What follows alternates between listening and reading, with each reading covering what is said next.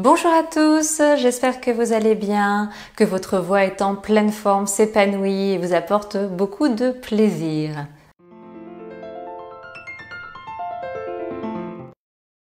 Aujourd'hui, j'avais envie de vous parler de quelque chose qui me tient tout particulièrement à cœur et qui a à voir avec la confiance en soi et comment nous allons progresser plus rapidement vocalement.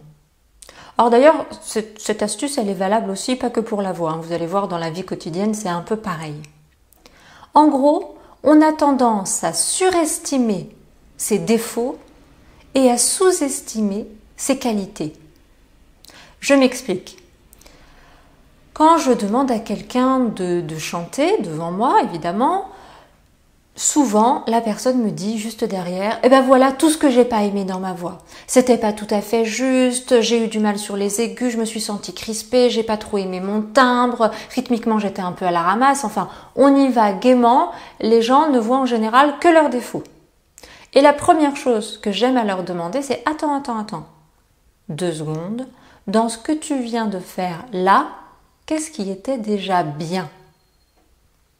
En gros, dit autrement, souvent on veut améliorer nos défauts, défauts entre guillemets, alors que peut-être qu'il est plus intéressant déjà de renforcer ses forces, car on va progresser bien plus vite. Et je suis certaine, absolument certaine, que vous avez des forces, des qualités vocales que vous ne regardez même pas et vous vous dites, oh bah il me manque ça, il me manque ça, j'aimerais plus de ça, j'aimerais plus de ça.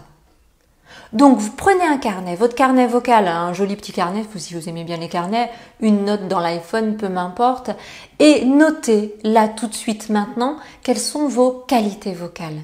Qu'est-ce que votre voix sait faire? Même si vous peut-être vous n'aimez pas tant que ça ce que ça fait, mais qu'est-ce qu'elle sait faire? Ce sont des qualités. Est-ce que votre voix euh, est douce ou au contraire est-ce qu'elle est puissante?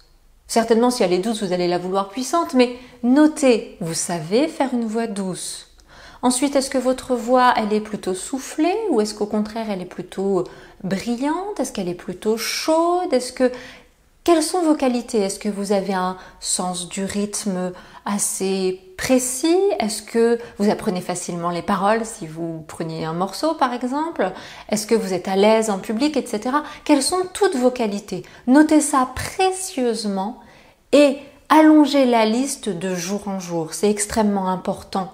On va se baser sur nos compétences, sur nos qualités. Ce qui ne nous empêchera pas évidemment de voir ce qui a amélioré.